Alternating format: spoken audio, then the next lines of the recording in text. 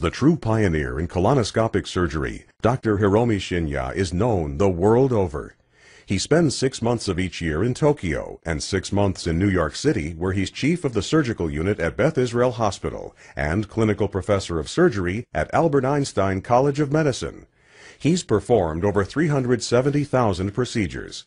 Dr. Shinya developed the technique for removing polyps through the endoscope. It's known as the Shinya method. Prior to this advancement, removing polyps needed abdominal surgery. He's treated kings, queens, presidents, and prime ministers, and he authored The Enzyme Factor, a best-selling book that sold millions of copies in over 20 languages. Dr. Shinya recently published the follow-up book, The Microbe Factor. I've been asking every patient, most of the patient comes every three years or so. So I observe every year carefully and I tell them your colon becoming very firm and tight and developing more pockets.